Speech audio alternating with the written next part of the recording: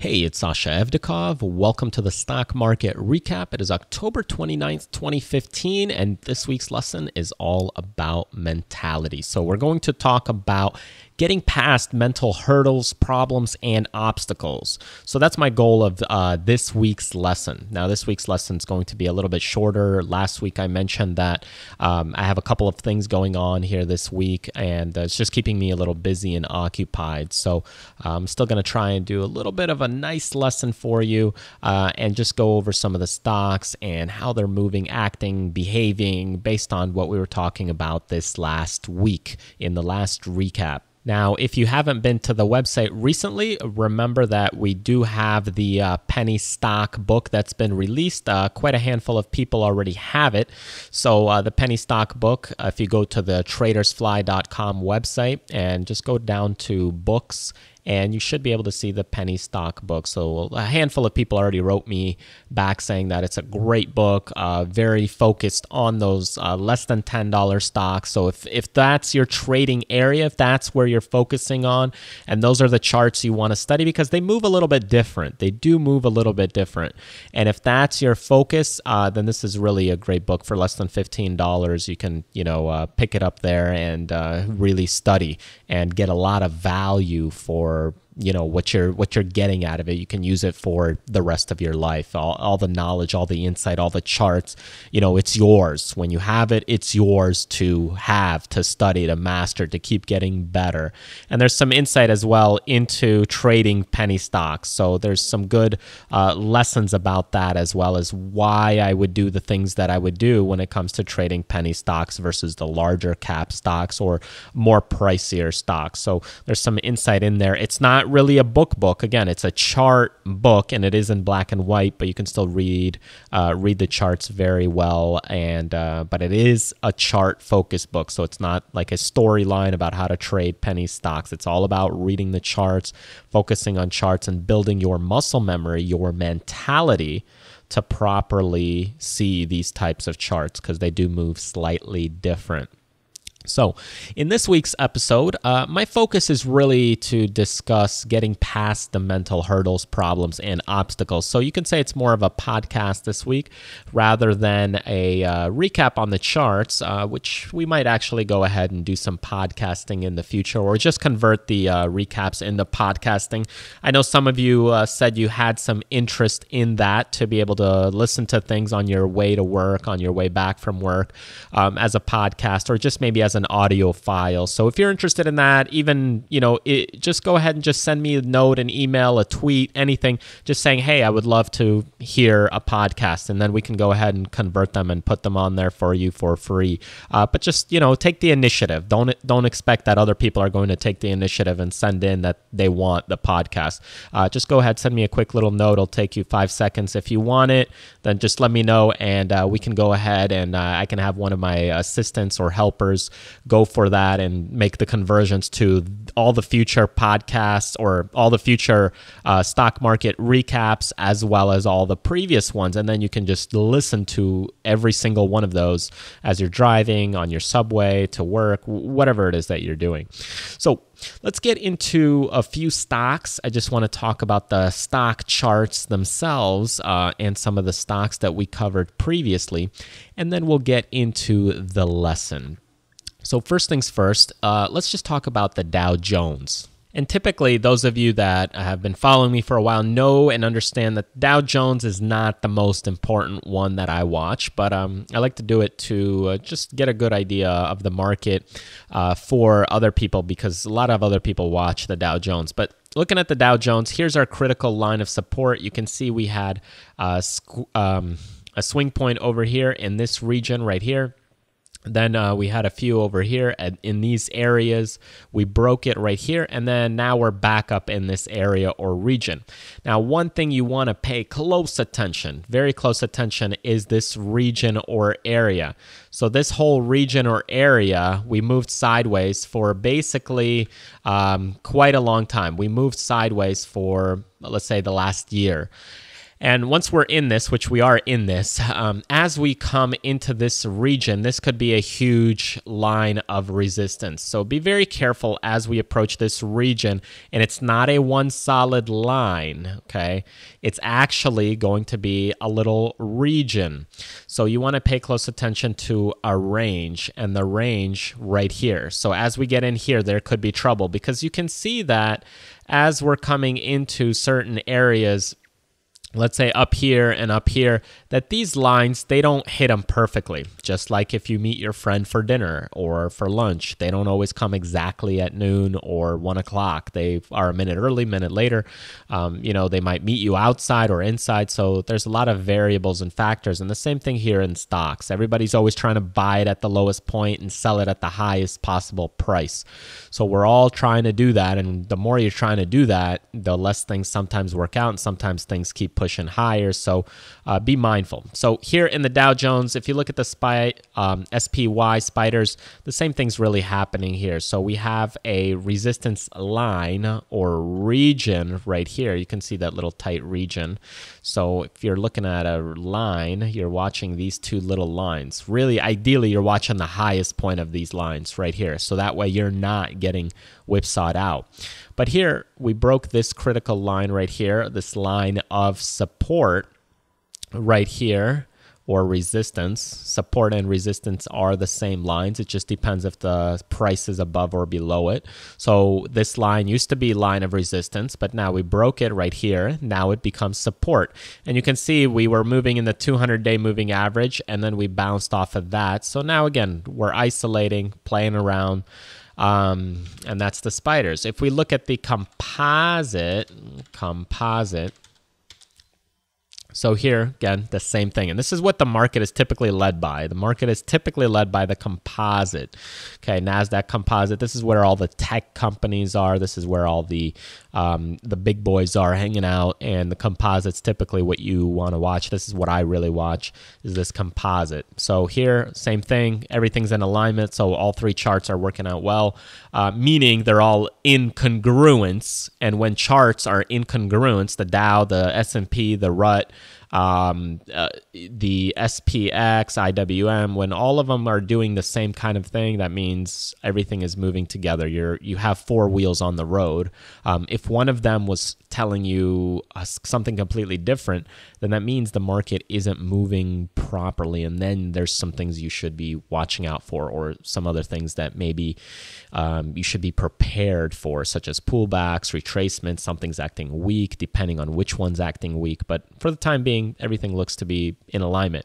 Now, we are still in this region or range, and because we are in this region or range, um, you can see some sideways action. Uh, we are all, we are already fairly extended from the lows of that bounce. And it's not something that i personally like. I would have personally liked that we um, sold off coming into this resistance area like coming into here and then i wish we would have sold off. And the reason for that is it just builds better charts. It builds better charts. When you have a nice sell off you can buy things at lower prices and, you know, for me, I can trade them to the upside, to the downside. I, I just think things are a little extended, but that doesn't mean I won't trade them to the upside. Like um, an Amazon. We've been trading Amazon to the upside the last couple days. And uh, this is one we got in. We put on some longer positions, longer diagonals, um, got some stock, these kinds of things. So looking at this resistance line, you can see this has a stair-step pattern approach. But again, you take your profits as things continue to move up. Um, Apple had earnings as well, but I wouldn't trade this one or go long, and we have no position in this right now. Um, I would look for a position. Right now, I'm looking for a position, and I would get in it right here if it clears this on heavy volume. And the reason I would wait for that is look at this line right here. This is the 200 day moving average. Okay. And that line is right there. And also, we have the support and the resistance line. Really, it's resistance now right here. So everything is pointing right here in this little region or area. Now, that little region or area may actually come here and it may It it may happen right here. It may happen later. It may happen over here. The stock may come up, sell back off, push a little bit, and then power through. It may take time for that to happen. So don't think it'll happen tomorrow. You're just watching this line, keeping it on your radar. Okay, so that's what you're doing. Uh, Facebook. Um, here, this one's powering higher. Watch out for earnings, but this one's been doing well since, again, breaking those resistance lines, making nice new highs, looking good over 100. Pretty good uh, movement. GoPro, we talked about this one on the short, and here with the earnings. Um, yeah, this one's I, I I don't see a good future for GoPro, even though it, they make fantastic cameras. As far as a stock, as far as an investment, uh, based on what the action is today, um, it's going to take a little bit of time definitely going to take a little bit of time. I don't see the uh, the value here, so you could see this one get back to well, doing a calculation. This is uh, 56 points, let's say, give or take, 24 points. So taking it down, we can see something, uh, 15 bucks maybe, give or take, 15 bucks, maybe less, but who knows. Um, IBM, since uh, selling off on the earnings, you can see the stock continues to move lower on heavy volume. There it is. Earnings took it down right here on this bar in 16 million shares. We popped and tried to get a little bit higher with the people taking their profits and then again 15 million to the downside so uh, you can see this long resistance and support line right here breaking again. So this one's acting weak, and uh, they've been talking about it. And with the weakness, the way it's showing its hand, it's it's in the uh, downtrend right now. So 120, 110 might be a value buy for some people, but um, you know it'll play around here for a little bit. Still, it doesn't happen overnight. And uh, Buffalo Wild Wings earnings took this stock down. Here we got about 30, 40 points uh, coming off, 33 from here, and we had 54 from the highs. So uh, this one again, from the highs, sell off major. Uh, that usually means a little bit of trouble coming as well. So could it come back to that 120? Absolutely, absolutely. Uh, will it? We'll see. Time will tell. But um, but with that speed, when things are cutting, when things are moving fast, how fast does it uh, take to stop a car moving five miles an hour versus a car moving 100 miles an hour. And $33 move to the downside is a fast move. That's a fast move. Uh, think of that as going um, 180 miles an hour in a car. So it takes a lot of energy to stop that move. Um, of course, you may get a little bit of breaks, uh, meaning you may get a little pop up here and then again a sell off, but uh, it takes a lot of energy. A lot of people to step in to stop that moving, moving train, moving car, uh, moving airplane, whatever analogy you want to use. McDonald's, we talked about this one.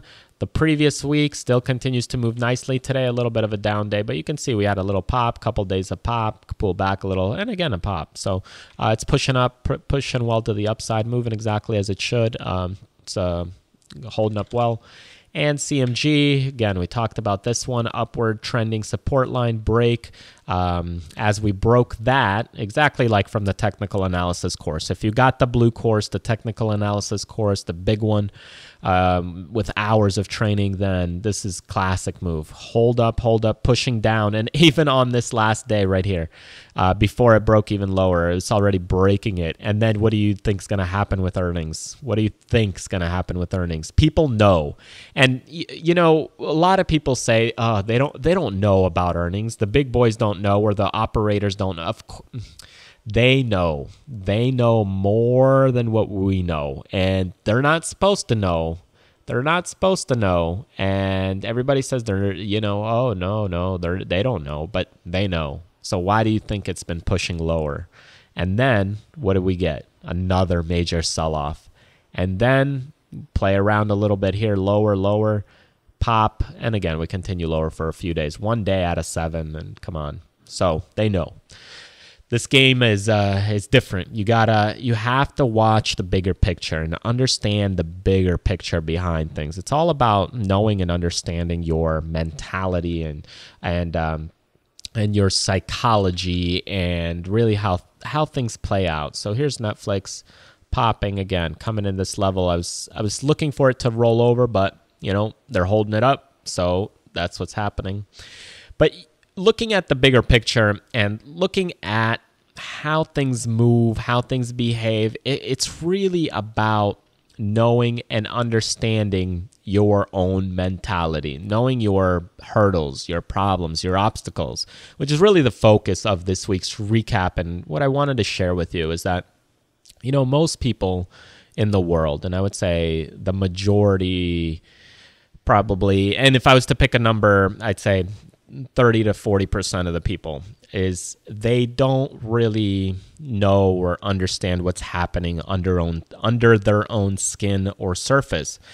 And maybe they know, but they are not aware of it. And even if they are aware of it, they aren't able to make the changes or adjustments. Because first, you have to be number one, you have to be aware of what's going on within you. And then you also need to be able to make the changes and adjustments. So, for example, if you're looking to lose weight, and let's just say you're 700 pounds, I'm just throwing a figure out there.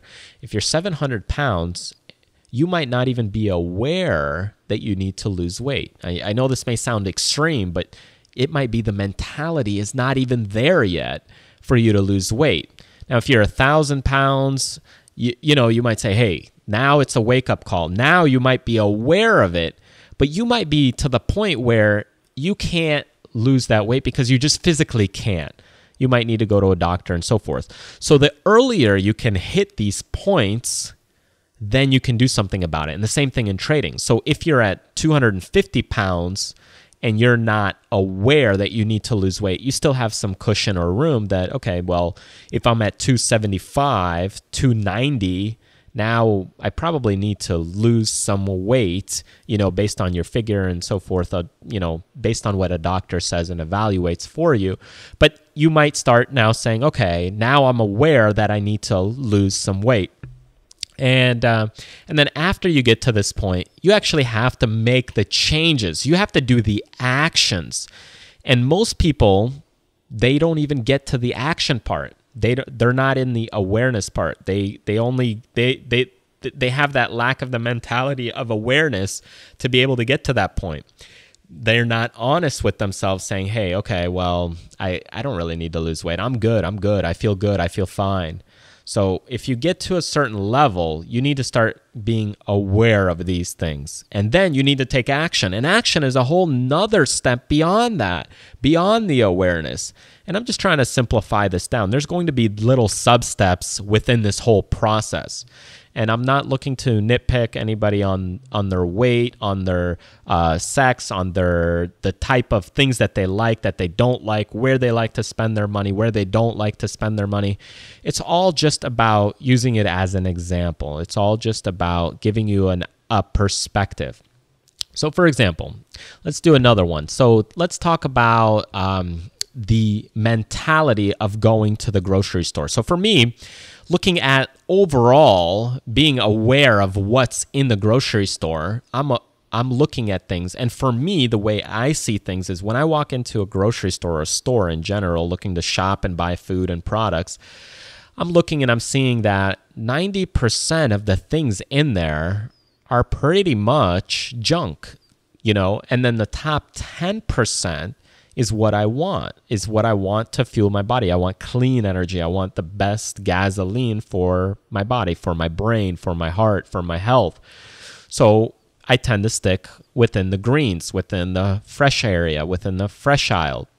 Anything that's typically packaged, anything that's in the aisles is typically prepackaged and it's typically not as good and healthy. But most people aren't aware of that, or we've been trained by marketing through uh, consumers, um, uh, advertising, and just a lot of other things saying, well, it's not as bad or not as in moderation. And you you may say, and you may argue that that okay, th- those things are okay to some level, but if I want the best of the best, if I want things to go smoothly to the next level, if I'm always looking to grow, if I'm always looking to improve then I want the best things that I can possibly get. And for me, then I will stay in that 10% of those greens or 10% in the healthy area of the store. one of the great things um, or sayings that applies in this con- context is um, 90% of the things are mental and 10% are external. Or the other way you could look at it is uh, 10% of the things that happen to you are just things that happen to you, and 90% of the effect or the result is how you react to those things. So, um, you, you start looking at all these things the 90 10 principle, 80 20 principle, and there's so many principles that you start flashing around and you really don't know which one to follow. For me, um, for me personally, I just keep it very simple. I just look at okay, be better and just try and do the best that I can do. Um, so if I just remember, okay, be better, then I know that okay, let me just continue to make improvements, and that just be better, be better as a human, be better as a person, be kinder, just continue to be better, continue to improve. And when you start looking at stocks and how this all applies to the stock market, okay, you know, taking things from the grocery store, from the weight, taking things from your actions, reactions, the awareness, putting all these things together, you're just looking to get through that awareness part and with the stock market, you build so much energy initially. You build a lot of energy from your knowledge and education. And when you have this knowledge and education, you build more confidence. And there's a lot of hurdles that'll come up along your trades. There's a lot of issues, uh, trades that don't work out, and it really sucks your mentality. It sucks your um, energy from your psychology. And it really sometimes makes you feel down. Back when I first started trading, I don't know, probably many of you have heard the story through one of the courses or the books. I mean, I started trading probably when I was 13, 14 years old. I mean, I, I didn't really, really trade there on my own, but I started trading very young. Um, my mom was doing a lot of the choosing of the stocks, and she wasn't as computer savvy. So I actually executed a lot of the trades. I looked at charts. So I started st- um, studying and stumbling across other methods and strategies to, you know, trade in the market because you know she asked me to put uh, money into this stock or buy this stock or buy this position. But, you know, I just slowly started dabbling into it. And as things accelerated, you know, I started putting in my own money under her account made trades and executed them. And at that time, I was already running a successful web development business. And that was when there weren't a lot of web businesses out there. And from there, actually, I if many of you read some of my books or my stories, I actually sold one of my blog businesses for over a hundred thousand dollars there and uh, took the money and continued to invest it in the market. So that's where I got a lot of the money behind uh, investing, trading, and there's a lot of websites and successful things that I did over the years that led me to that point. But it's a stepping stone that not every trade, not every business decision, not every uh, every single action that you do is going to work out. Um, even on a day-to-day basis, even on a life uh, basis, there's going to be hurdles and steps and challenges that you have to overcome.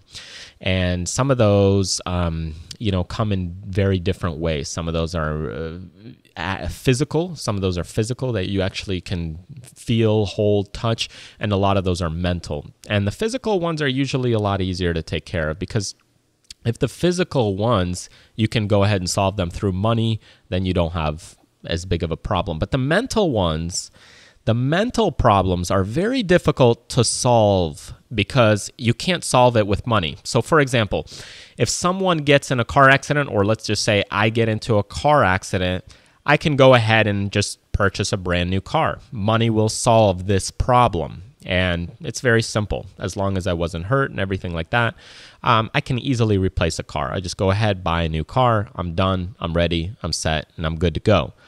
Mental problems, on the other hand, if the psychology of me getting in a car accident now, I don't want to drive anymore, this is going to really impact me for the rest of my life. And in the market, if you have those bad trades, killer trades that really drain you, and you don't even want to put on a trade, then you won't be able to continue and progress further in the long scheme of things, if you look at the long term, you have to learn that you have to continue to put on trades. You have to continue to be active, continue to trade in that in the long term, you'll be ahead. But you're going to make some stupid decisions. You're going to make some decisions that aren't in your favor and things to learn from. Just like when you're younger and when you're driving, you need to learn that you can't be speeding if you got a speeding ticket before, or you shouldn't be. And then you need to learn that you shouldn't be driving recklessly or running through red lights because accidents can happen. And if you've ever been in an accident or you've ever been pulled over, then maybe the consequences were minimal. So if it's just a $200 ticket at that time, you might have paid $200, $400, whatever the ticket charge was. And then maybe three months you were driving carefully. And then six months later, you were back to doing what you were doing. Now, in the market, you technically can do the same thing. It technically does happen because of just our own mentality. What happens is we get into trades, then we get into it, we feel comfortable, we start putting on positions more than what we should, and then we get big spikes, huge spikes, like for example in Netflix, in Apple, whatever, 30 point spikes, they take us out, and then you say, "Oh, I won't do that again." Or, "Oh, I won't turn I won't trade earnings again." You know, and then time goes on, you start making some more money, you make more successful trades, and then you get away from those rules, just like you get away from following the speed limit or, you know, running yellow lights. And then, boom, again, stock goes down 30 points and you're out $3,000 or $30,000, depending on how many shares you have. So, it, it really drains you mentally. And a lot of that has to do with discipline. And if you can be disciplined, disciplined to stick to your strategy, it'll keep you out of trouble. If you can be disciplined to be aware of your surroundings, of how you're acting, how you're behaving. If you can be disciplined that, hey, I'm not really kind to those people next door. Let me go over and say hi. Or, hey, I haven't been really a good neighbor. Or, hey, you know, let me go and pick up the phone and just see how this friend is doing, even though maybe they didn't call me for their birthday you know, uh, or for my birthday, you know, let me just go ahead and pick up the call, the the phone, and just reach out to them and be the better person because you're aware of that. You let your ego go, and you continue to try and become better. And in the market, you just try and continue to be better.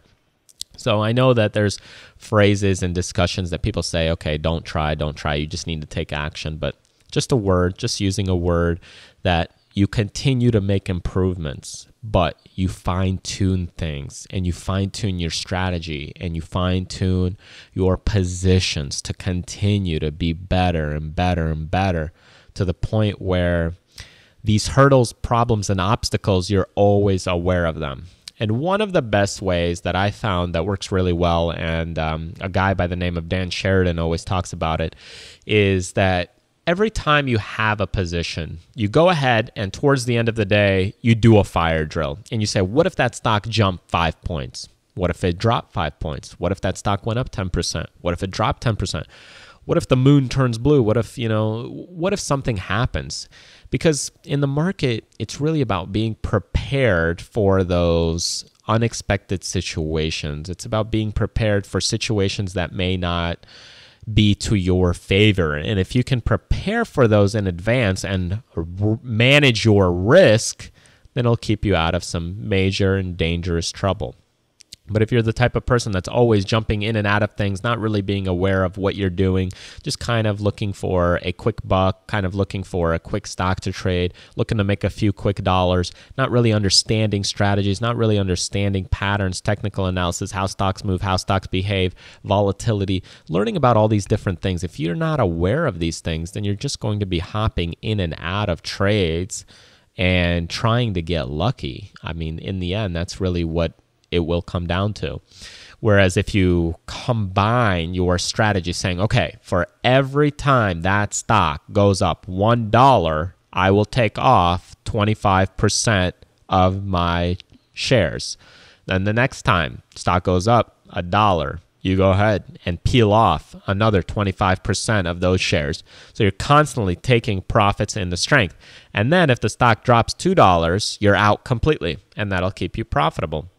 So you have to start coming up with things that really keep you profitable, that work for you, because there's no real golden magic bullet rule system for everybody. Everybody has different risk tolerances. Everybody has different goals in the market. And depending on how things move, behave, act, you might see something that's a lot different than what everybody else sees. That doesn't mean your analysis is wrong. It also depends on the time frame, the time frame that you're looking to achieve in the future. So for some people, they may invest in a stock at a $10 share, a $10 per share price and for for them it's fine holding on to a $10 stock that may not move to 20 or 30 dollars for 10 or 20 years so you have to define these things and sometimes these mentalities really um, really just suck you dry because once you execute a bad trade when you execute a really bad trade, sometimes you just don't want to trade. And when you don't want to trade, it's going to be more difficult for you to get back in. So start slowly. So, one of the things that I would advise, it's kind of like working out or training. When I used to teach martial arts and um, a lot more, was um, we always started with a uh, 15 minute lesson or or 25 minute lesson when you're just learning to to train and get back into things. And then you pick it up. Then you go to uh, two days a week, you know, 20, 30 minutes. Then you go to uh, three day a week, one hour. Then you go to four day a week and maybe do an hour and a half or two hour lessons. So you start continuing to build, build, build um, all these things, all this endurance. But if you're simply just uh, trying to do things very quick and just jump back in trading a thousand shares, this is really where it's going to be really dangerous. Uh, because what, what happens is then if you take a major loss, if you take a huge loss from a stock and you didn't do the right things, it's going to be very difficult for you to be consistent with an even larger position. And this is where people get burned. This is where people lose incredibly big, is because they then double down. Then they try to go ahead and add even more on the next position to make their money back. And that's where things become very dangerous because you're not clear minded, you're not trading properly, you're not seeing something correct in the market.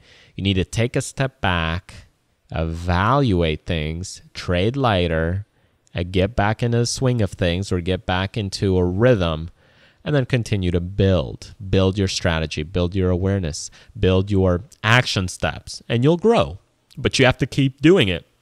I mean, if you missed the first five baskets when you played basketball and you stopped right there, then you could never become a professional. You could never continue. You have to keep going. And even professionals miss baskets in basketball. They but you have to keep going. You have to keep shooting. You have to keep moving and developing your craft, developing your techniques, developing your mindset, your mentality. It's all about just moving forward and just becoming better. So be better, whether that's in the market, in regular life, contributing to other people, helping other people, giving them an extra dollar, giving them an extra hour of your time. Just continue to be better, evolve. Because hurdles, obstacles, problems, they'll come. But the way to overcome them is baby steps, little steps, step by step. Um, just continue to move forward. All right. I hope this recap was a little helpful. I know we didn't talk a lot about stocks. It's more of a audio, little helpful, motivational guide, hopefully for you. Some of those of you that are stock, just continue, continue to move, continue to learn. Learning sometimes will give you that energetic boost when you learn and get a new insight, putting things together. We got two main courses that I still want to release in the stock market. And then after that, really, we're going to take a break with uh, course material but after these two courses, especially after the um, the, the final course of how to enter, uh, manage, uh, and exit your trades, after that course is released, everything should should come to the light. Everything should be coming together for you. So we got that one major course coming out there next year sometime of how to enter, manage your position, how to exit your position, putting everything together, everything together, and then really you should be rock solid in this. And, you know, you'll have that um, education, but you're going to have to be aware of your own mentality. You're going to have to be aware of your hurdles of what you're doing. Are you over trading, under trading? Are you, um, you know, getting in too late, getting in too early? And then you'll have to make adjustments. And those are some things that you know a lot of people can't help you with. You're going to have to be aware of this and be more open-minded to those things. Um, so don't let your ego cloud your judgment because that's the only way to succeed in this business is to be honest with where you're at in your life in your trades what's happening. Um, and that's why a lot of people just fail at the market is because they can't be honest with themselves of where they are what they're doing wrong because it's just just an ego thing. So get rid of that ego, get rid of that that negative vibe and energy from all parts of your life and just go out, contribute to other people, help them out, everything else, make it flow. Be better, be kinder, continue to evolve, and you'll get there. You'll get there. All right. Thanks for joining me. Uh, should be back to normal schedule next week love and appreciate all your emails. Shoot me an email, shoot me a tweet uh, regarding if you want these um, recaps to be converted to a podcast or an audio format. We'll be glad to do that for you um, within the next, you know, as time moves on. We'll we'll go ahead and put it on the schedule. And uh, thanks again for joining me. Truly appreciate all the fellowship, um, the lovely messages that you guys send me uh, from the little gifts that I get. I mean, it just just hearing from you, commenting from you, it's just wonderful. So you know, keep doing it, keep on going, keep moving, and uh, this business just takes time, and you'll get there. All right, thanks again, and I'll see you next week.